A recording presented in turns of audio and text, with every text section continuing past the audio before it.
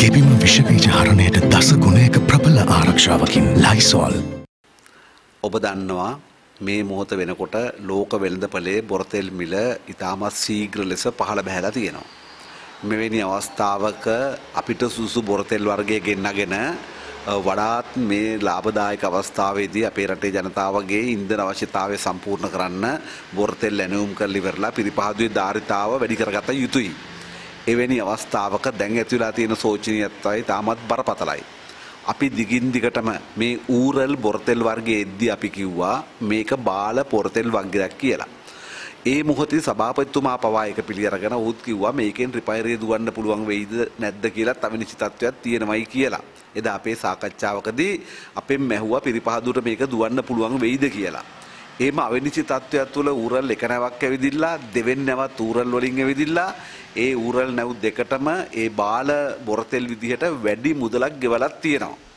මෙහෙම තත්ත්වයක් තුළදී මේ හදපු බොරතෙල් වලින් ගන්න නිමි නිෂ්පාදන විදිහට නැප්තා ඒ නැප්තා වලින් තමයි කැල්ලිතිස්ස ගෑස් ටර්බයින් දුවන්නේ.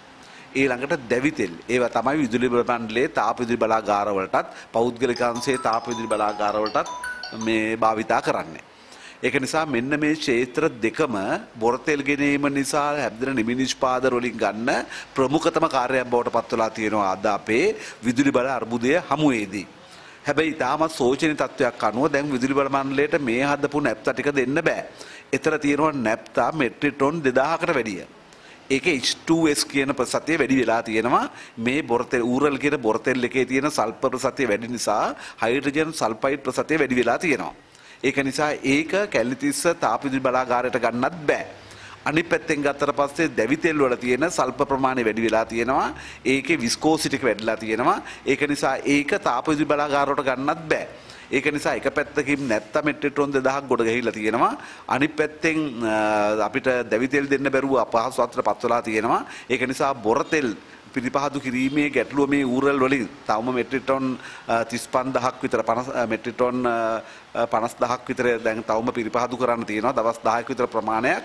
හැබැයි මේ අර්බුදයේ හමුවේදී මේ ඌරල් වලින් පිරිසිදු කරන නිමි නිෂ්පාදනයන් කොහොමද ලංකාව තුල අලෙවි කරන්න කියලා ගැටලුවට අද වෙනකොට පිරිපහදුව මුහුණ දීලා තියෙනවා. අද දෙරන YouTube නාලිකාව YouTube අද දෙරන දැන්ම සබස්ක්‍රයිබ් කරන්න. පාට කන්නාඩි වෙනුබට ඇස් කන්නාඩී.